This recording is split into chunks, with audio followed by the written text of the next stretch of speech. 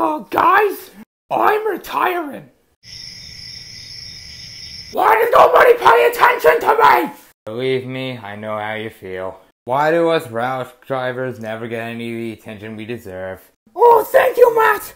At least somebody notices me. This is very uncomfortable. It's been two years. Show some emotion for once. Come on, let's go get some ice cream for you, for old time's sake.